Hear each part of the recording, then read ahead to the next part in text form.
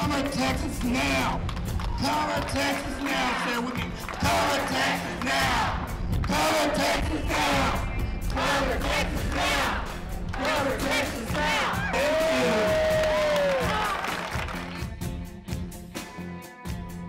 We know our next step must be forward. Health care for all. But many of our leaders here at the Capitol and in Washington only seem interested in tearing down and not building up.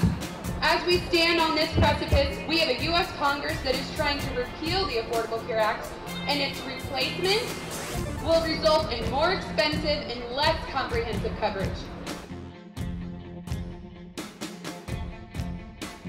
We're here for those people with special needs that oftentimes get pushed to the side and forgotten.